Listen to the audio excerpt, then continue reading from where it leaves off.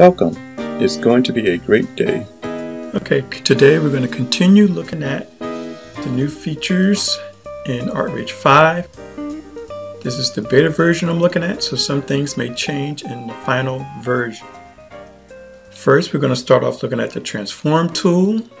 It's been changed. It used to be down here on the pod, but now the new custom brush is taking that place. So now you have to go up to the menu to access it and it's full screen and you can only work on the current layer that you select. So you have to select it first.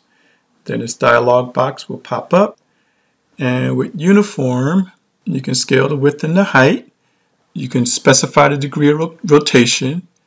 You can flip it horizontal or you can flip it vertical. And here rotate icons down at the bottom. And also you can free still freehand distort as you could before. Okay, now I'm going to show you something else. So I'm going to close out of this and I'm going to open the perspective grid. So you go to the layout panel, choose perspective grid and select show perspective grid. Then go back to the transform.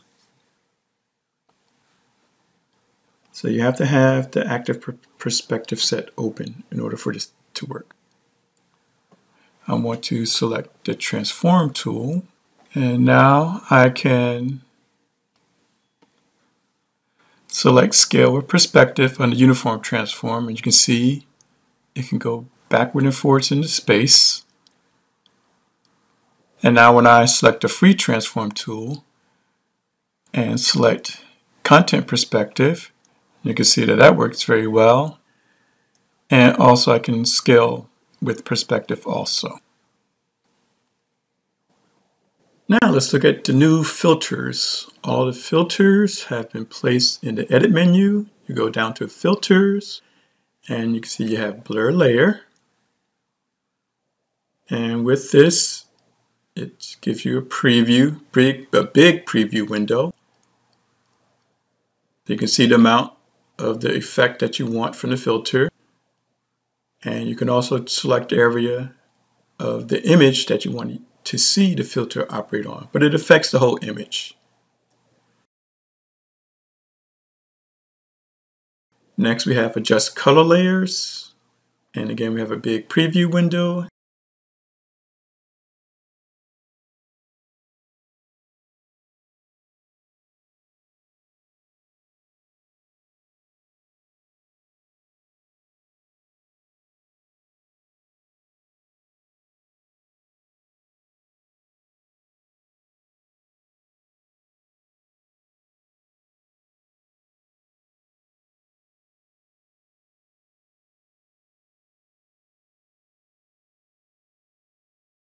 Next filter we have is add noise.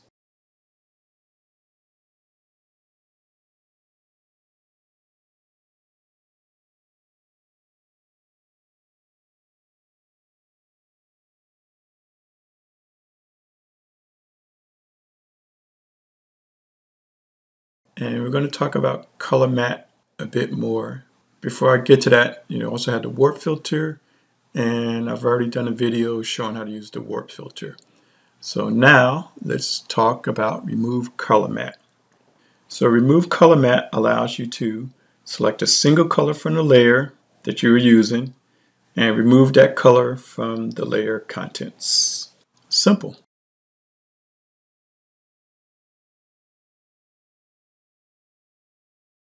Now let's take a look at the fill tool. So first you have solid, gradient, and pattern. And those are things you've had before. What's new is all the way down at the bottom here with gap tolerance and slow motion. Now with slow motion, if you set that at 50%, that's a good thing to start off with. What will happen is that as you fill it, it will slowly fill and you can see if there are any gaps and all you have to do is press the escape key to stop it.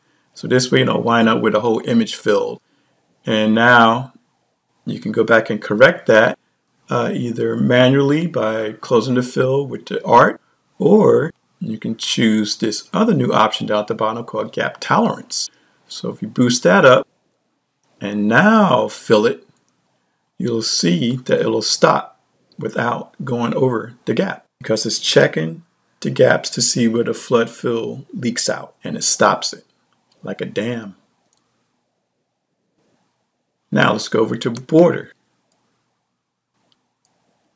Now, the border helps you get rid of those uh, little white fuzzy things on the edge of anything or any other color that you may have subtracted. So if your border color is against the same background, it'll look exactly the same as a normal fill. Now let's take a look at the color sampler tool.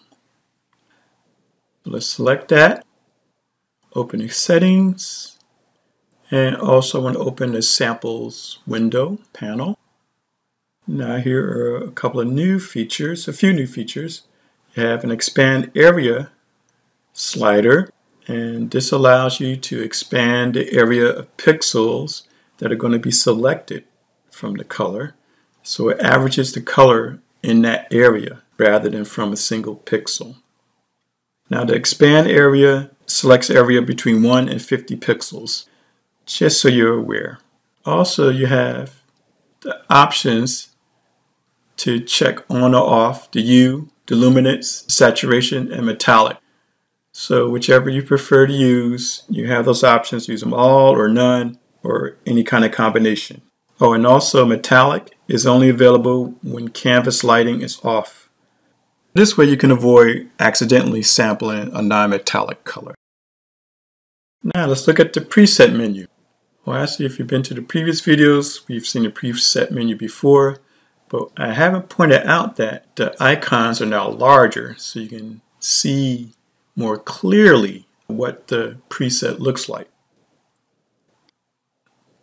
Also, when you're in docking mode, you can only access the preset panels from the settings uh, menu. So you can open and dock the presets separately also. And as I mentioned, the previews and navigation are larger. So this makes it easier for you to rearrange and rename and to delete any presets. Also, you can delete the default presets. And if you made a mistake or decided you want them back, then just use the restore default content. And voila, back in place. Back in the saddle again. Now let's talk about canvas rotation. As always, you can rotate the canvas by using the canvas positioner. But now you can go to the edit menu and rotate the canvas from here. 90 degrees clockwise, 90 degrees counterclockwise. No, they say anti-clockwise here. I'm not anti-clockwise. I, I like it. And rotate 180 degrees. Now let's look at the layers panel. Now even though I've been using the layers panel, I haven't shown you that also if you click here and go down to large layer previews, you can also see better what you have on your layers here. So this is a pretty nice option, saves you a lot of squinting. So that's going to complete part two of our look at the new features in ArtRage 5. So as I said, right now this is a beta version I'm looking at. So if there are any major changes when the final release comes out, I'll revisit some of these topics. Some of them I'll revisit anyway because I want to do more expanded uh, tutorial on what's there. That's all for today. Please like, share, and comment. I'd definitely like to hear from you. And please subscribe so you don't miss any episodes. Remember, just create. Bye.